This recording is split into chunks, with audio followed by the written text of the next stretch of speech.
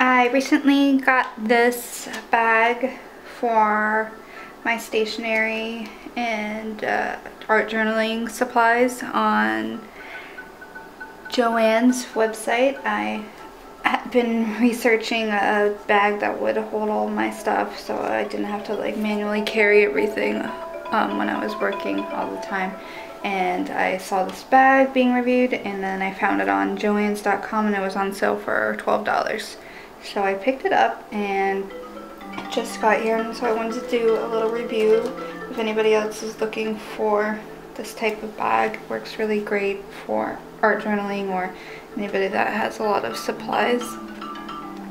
So I'll just kind of go over the basics. Um, I didn't think it came in any colorway different colorways so I just got the standard one black and blue. Um, it's pretty big. I have a lot in here so it's pretty heavy. It's got pockets on every side. Um, so this side I keep most of my markers just like the little pipsqueak Crayola ones.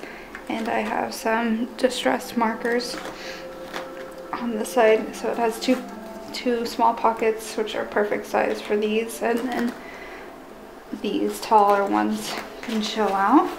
On the front I keep my paper Papermate pens which I use to draw right in my journal entries.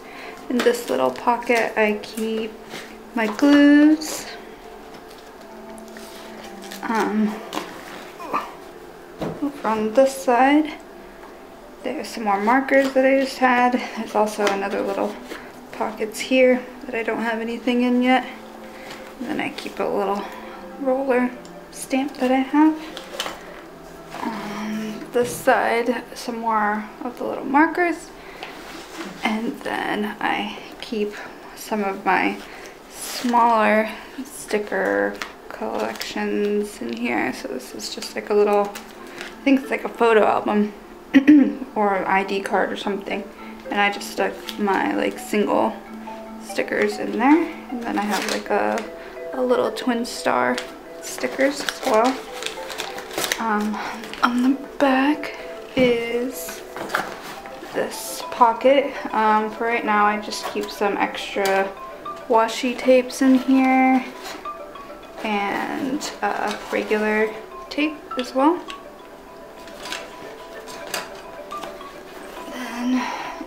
The main part, um, it has four different compartments. if you can really tell because everything's so stuffed in there. And um, one compartment I keep my art journal. And I keep this Sailor Moon comic book because when I do um, this this side's pages, um, I just kind of like lay it under like this so it's flat. Oh, the next one, next pocket, this is all of it's in this one because this one's so stuffed, is uh, my, just like my regular art journal because this is just like art. This one I kind of write in like my everyday stuff. So this one just has stuff like this and I've done a video on what's like what's going on in here you can just look at my previous videos. Um next is just this one is just a collection of all my stickers. So like books and little ones and alphas and the planner stickers. And here's another like little sticker organizer that I made before I had this. So that takes up one whole thing. I have like some space for more. And then originally, uh, this takes up a whole thing. Originally this I had bought for just my markers and pens. Um, but then I got this. So I needed a place to temporarily store my washi tapes.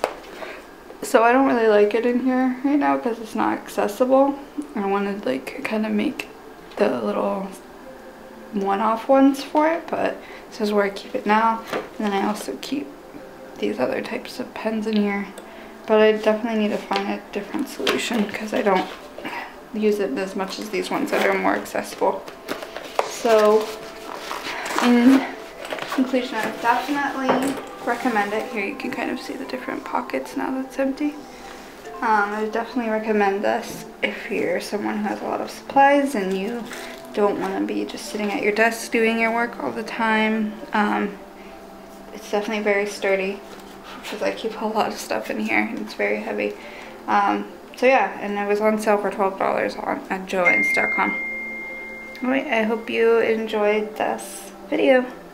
Thank you. Bye.